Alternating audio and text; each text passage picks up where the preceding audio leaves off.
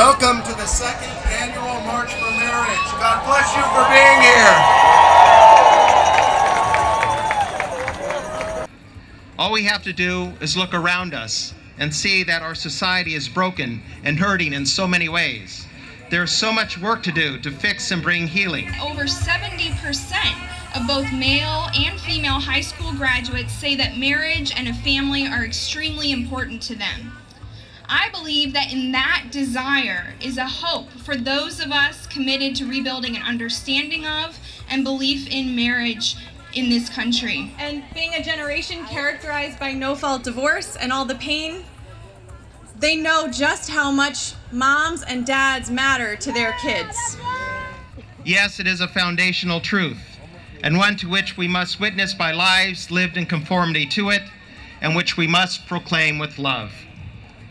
Love for those millions of loving single mothers and fathers who struggle to pick up the pieces of their lives and succeed in creating loving homes for their children. They need and deserve our love, affirmation, and support.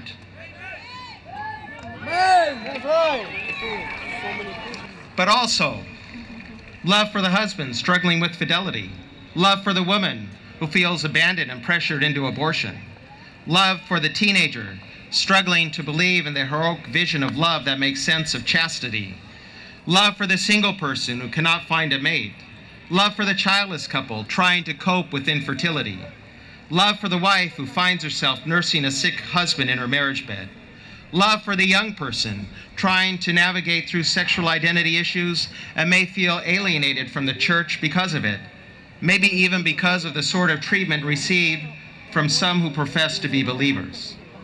To all of you, I say, I know that you are a child of God, that you are called to heroic love, and that with God's help you can do it, that we love you and we want to support you in living your God-given call.